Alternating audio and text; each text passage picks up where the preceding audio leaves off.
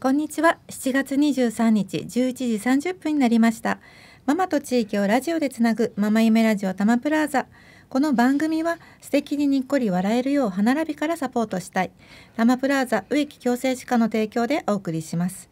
ママ夢ラジオは全国23カ所のローカルラジオ局でその地域に住むママがパーソナリティとなり街の面白い人や楽しいことそしてワクワクするスポットなどを取材してお伝えすることでママと地域のあなたがつながるきっかけを作る番組です。本日パーソナリティを務めます森田恵子です。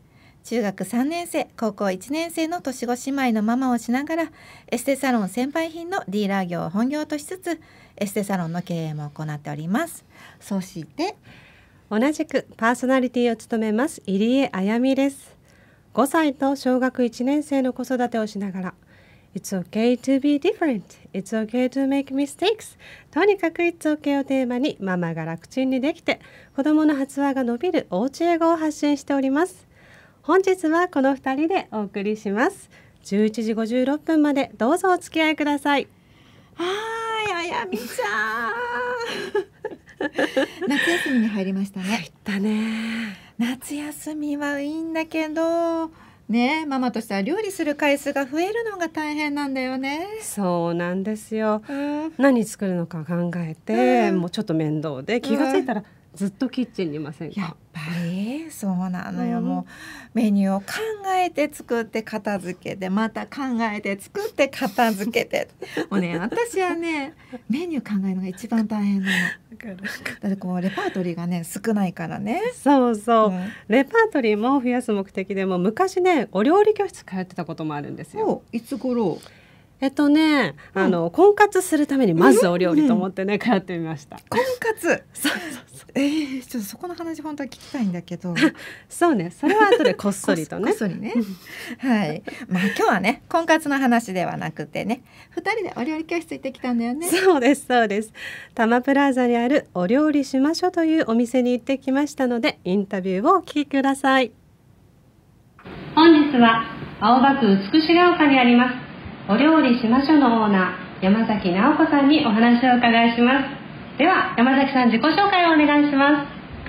はい、えー、タムプラーザ徒歩3分のところで料理教室時々カフェをしております。お料理しましょうの山崎直子と申します。よろしくお願いします。よろしくお願いします。お料理教室いいですよね。私も学生の頃ちょっとだけ行ってたんですけどでもお料理まだあんまりすごい好きですって言えなくてなんかお料理教室をやろうと思ったきっかけとかはあるんですか？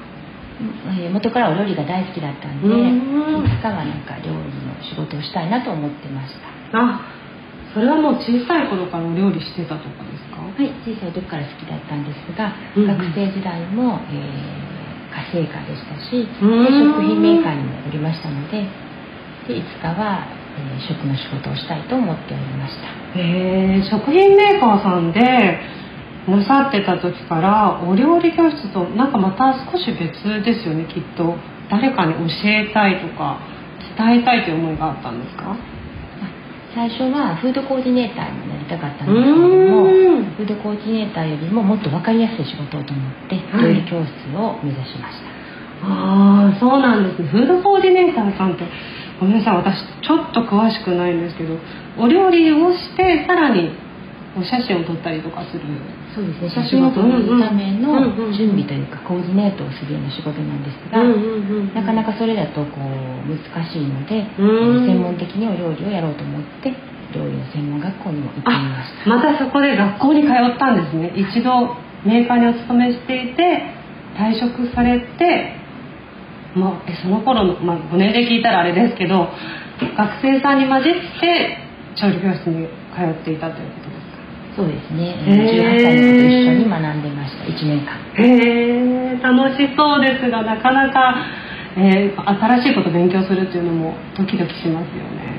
すごい楽しかった。ああそうなんですね。皆さんのお母さん的な感じで。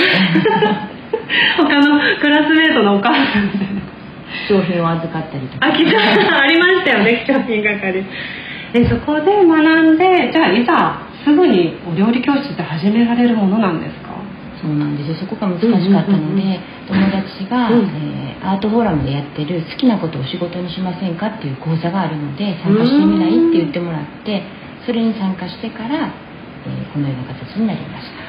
あー実際に確かにお料理の仕方や学んでもどうやって教室始めるかっていうノウハウがわからないと始められないですもんね。えー素晴らしい。すごい行動力ですありねがとうございます。その前にもオンで料理教室で少しあのやり方を学んでそれから準備をいろいろしてからの自宅料理教室になります。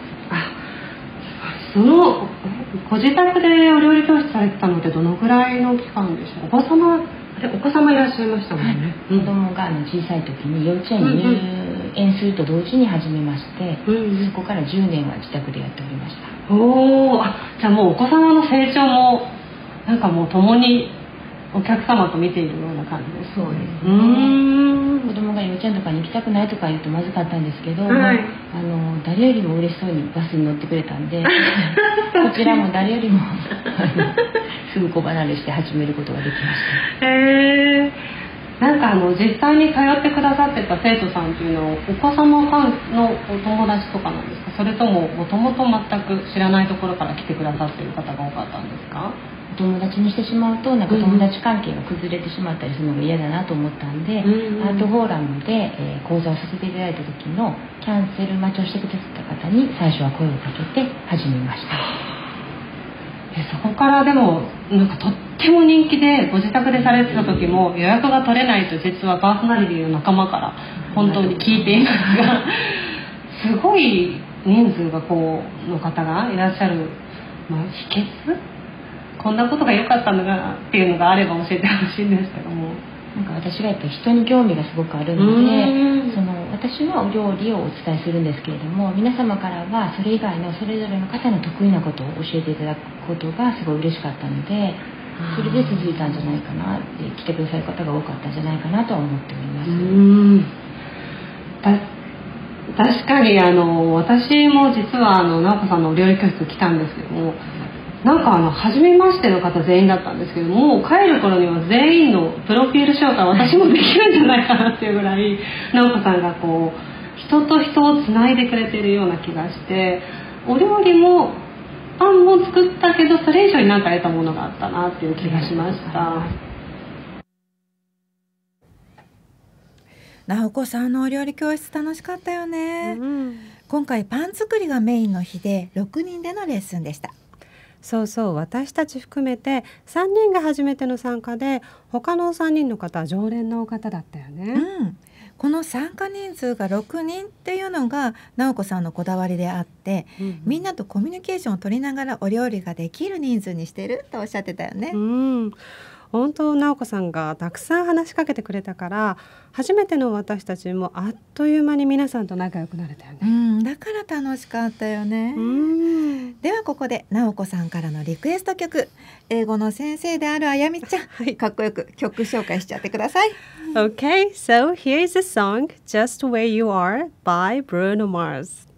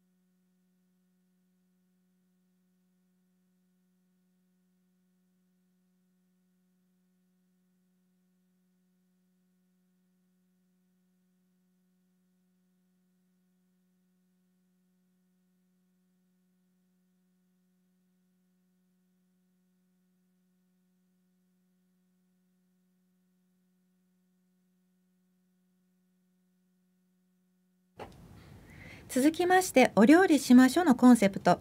お料理教室時々カフェのお話をお聞きください。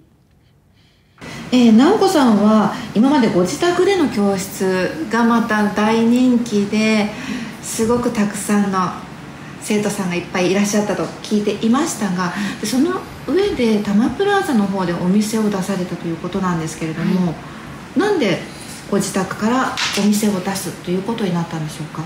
子どもの成長とともに子供がやっぱりあの小さい時は家にいたかったので、うん、家でやることによってえー、来てくださってる方も子どもの成長を一緒に、うん、あの見てくださってたんですけれども、はい、子どもが成長しましたので、うん、今度は店舗を持って、うん、でまた新たなカフェっていうのを挑戦してみたいなと思ってやってみました、そうなんですね。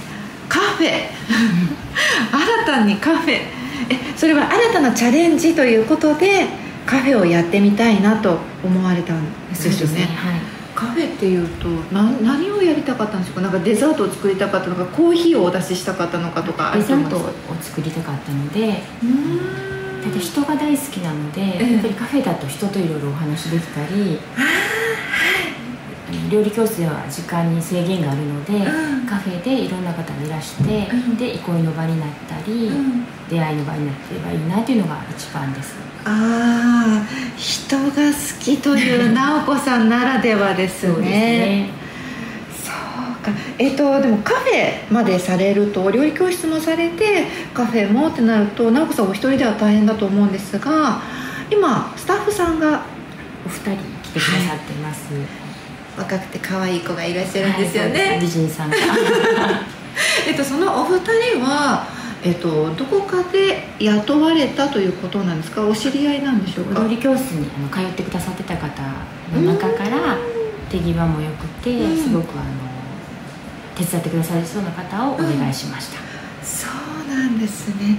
そこもずっとつながってらっしゃってるんですね。そうですね。じゃあそのそのお二人と共にカフェでデザートを作られる、はい。はい、どのようなデザートが作られてるんですか？一応定番はブルレチーズケーキというのがメインになっております、うん、ただ最初はそうだったんですけれども、はい、だんだん進化してきまして、うん、今はミニ講座をやったりですとか、うん、あとパフェを作ったりということでお客様に少しでも足を運んでいただけるような工夫を3人よれば文殊の知恵で今3人で考えながら頑張っております、そうなんですね。そうですよね。お一人ではねなかなか難しいですもんね、はい、えっとそのパフェもみんなで考えて。お一人あのすごくそういうのが上手な方がいらっしゃるので、うん、その方を中心に、えー、意見を出しながら考えてます。美味しそうですよね。であとそのミニ講座なんですけれども、はい、ミニ講座っていうのはどのようなことをされてるんですか？お料理だけでなくて、うん、いろいろあの女性が興味があるようなことを、はい、えー、入り口になればいいなと思ってやり始めました、うんうん、でアンケートを取って、どういうのをやりたいのかっていうのを皆様にお聞きしてそれをもとにあの新しい先生にお願いしたりしながら始めてます、あじゃあそこでまた人が集まってきて、はいはい、直子さんの人好きがさらに縁を読んで、はい、ここがわきわきあいあいとなっていくんですね、うん、なんかすごく素敵ですけどこの先にも直子さんには夢ってあるんでしょうか？今理想の空間を手に入れましたので、うん、継続することが一番、えー、地味ですが難しいんですけれども大切なことなので一日でも長くこれを継続できるように、うん、えー、努力していきたいと思っています。そうですね継続するって大変ですけどそこが夢となってまた人が集まる場所ができて、もうこの多摩プラザの地域との交流がどんどんどんどん広がるって感じですよね。そうですね。それが、えーと、理想です、うん。素敵です。もうそんな直子さんを私たちは応援していきます。ありがとうございます。えっと本日は青葉区つくしが丘にありますお料理しましょのオーナー山崎直子さんにお話を伺いましたありがとうございました。ありがとうございました。直子さんって本当に人が好きなんだなというのを実感したインタビューでした。面白いなと思ったのがお料理教室を自宅から店舗に移して、うん、さらにカフェもオープンしたっていうところ、うん、この間のねマンゴーパフェも美味しかったな、食べに行ったのね。行きました。いいな。もうこちらのカフェではねパフェだったりケーキだったりスイーツの種類もいろいろ変わるんだってね。そうなの。ついついチェックしちゃうんだよね。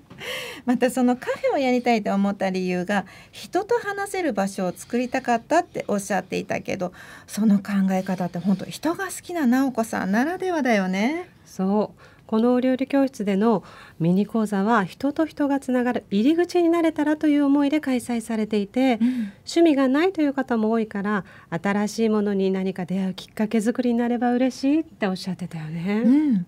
ミニ講座の内容もね実際にお料理教室に来たお客様へアンケートを取って講座を作っているとのこと今まであんこを使った練り切りやね温活講座とかね。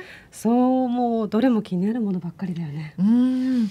今回さあのあやみちゃんがすごく魅力的なお料理教室があるよって教えてくれたから、うん。この「ママ夢ラジオ」で取材をさせていただこうと思って行くことになったでしょ？そうそうそう。私はねお料理教室って一回も行ったことなかったし行こうと思ったことなかったのね。そう言ってたよね、うん。お料理教室取材なら一緒に行きたいって手挙げてくれて嬉しかったよ。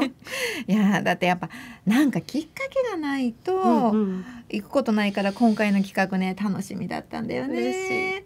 もともとねその参加するお料理のメニューも美味しそうだったしね。そう私たちが参加した6月の会は手ごねパンを一から作って、うんうんミラノ風カツレツやチーズプリンなどのコース、美味しかったよね美味しかったよ。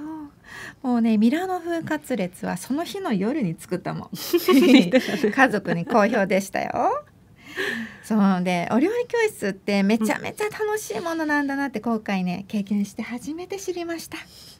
あとねお料理だけではなくてまあ私もほら個人でお仕事をしているという視点で考えた時にうん直子さんの今に至るまでの仕事の向き合い方がねすごいなって思ったの。そう直子さんの考え方と行動力に同じ女性としてとっても刺激を受けたうよね。ん本当こうお料理が好きだから料理に関わるお仕事をしようってスタートしたけどもうん大手のお料理教室で講師をとして勤めてうんその後自宅でもやりたいなって思って直子さんのすごいところはそこをねやみくもに料理教室やりますよではなくて教室を開催するためのノウハウを学びに行ったっていうところよね。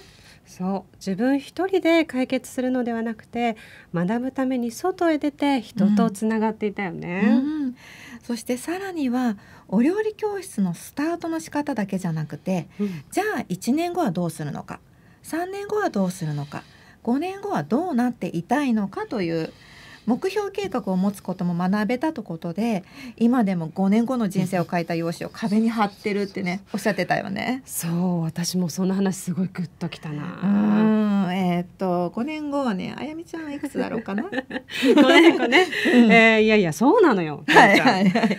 自分のね年齢のことなんてうん普段なかなか意識しないなとも思ったんだようんね。確かに。えっ、とけいちゃんはいくつだ？うん、そこねいいかな。ちょっと上すぎるので。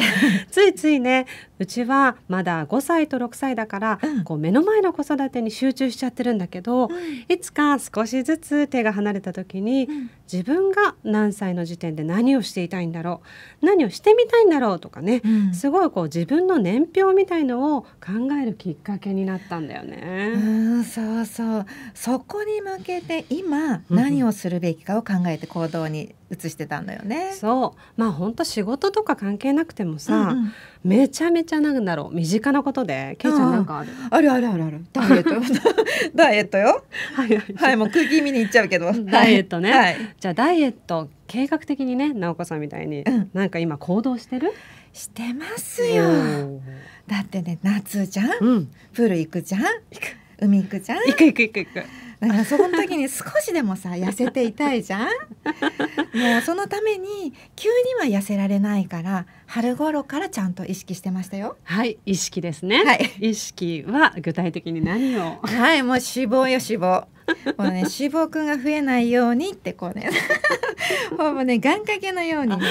そうただね計画してたはずなんですけどなぜか夏が近づくにつれて太ってきてだからもうね先月から計画練り直しよ。練り直し。もうトライアンドエラーで頑張んなきゃ。Oh, try and error ね。That's right 大切だよね。Anyway let's get back to the topic. もう英語もうかっこいい。ありがとう。はい。さあ今日のトピックですね。はい、直子さんはいつも先を見て今できることを常に考えて行動、うんそしてそれを新たなチャレンジとして楽しんでいるのよね。はい、で自宅での料理教室が大人気になっても子どもの成長に伴い次のチャレンジとして店舗を持つ。そしてカフェをやる。お料理教室の中でパンを作る。そのために大人気のお料理教室を辞めてパン屋さんに働きに出る。そう。もう変化を恐れることはなくて今の人生のステージをずっと楽しんでらしたようね、ん。お料理を楽しみに行ったんだけどうん女性の生き方についてねすごく刺激をもらえたなっていうのが印象が強かったかなもうタマプラーザのパワースポットに認定したいな私が認定しますありがとうございます。リピーターさんも多いけど、初めてでもお一人で参加された方でも結局その場に入れちゃうっていうところが魅力。うんまだ足を運んだなことがない方はぜひぜひおすすめしたい元気をもらえる場所です。はいではここで一曲あやみちゃんまたまたかっこよく曲紹介お願いします Okay, so here's the song Pick Up the Phone by Henry Moody.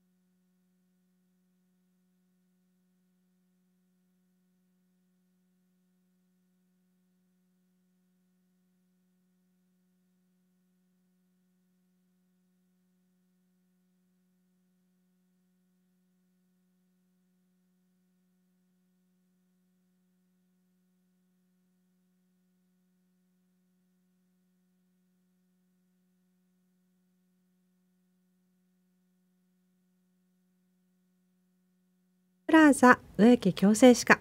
植木先生からのワンポイントアドバイスをお伝えするコーナースマイル。毎月ママたちの質問の中から一つ厳選し皆様にお伝えしていきます。今月は子どもの矯正は何歳からがベストなタイミングなのかを知りたいです。という質問に対するアドバイスです。けいちゃんからお願いします。はい。一般的には6歳臼歯とも呼ばれる第1第9歯と上下の前歯4本ずつが出てくる頃が小児矯正を始める目安と言われることが多いです。小学2年生前後がその時期にあたります。しかし歯の生え変わりはかなり個人差があるため年齢や学年で矯正の時期を決めることは難しいです。また症状によっては早めに始めた方がいい場合や少し遅らせた方がいい場合もあります。小学2年生頃というのはあくまで目安として早めに矯正専門のクリニックに相談されることをお勧めします。とのことでした。ぜひ参考になさってくださいね。そしてプレゼントのお知らせです。本日のゲスト山崎直子さんよりお店で人気のルカップグレープグリーンを3名様にプレゼントいたします。日本茶ベースにグレープの香りをお楽しみいただけるフレーバー緑茶です。プレゼントの詳細はインスタグラムと X でご紹介しますのでぜひぜひチェックしてくださいね。ママと地域をラジオでつなぐママ夢ラジオタマプラーザ。この番組は素敵ににっこり笑えるよう歯並びからサポートしたいタマプラーザ植木矯正歯科の提供でお送りいたしました。本日もねすっごい暑いですけれど、ねもう水遊びがねもう目の前でもちっちゃい子たちがうん楽しんでますけれども、本当にね皆さん気をつけていかないとね熱射病熱中症に気をつけてください。はい次回の放送は8月27日火曜日の11時30分から教えて青は防災さんをテーマにお届けします。この後も引き続き FM サルースをお楽しみください。それでは最後までお聞きくださりありがとうございました。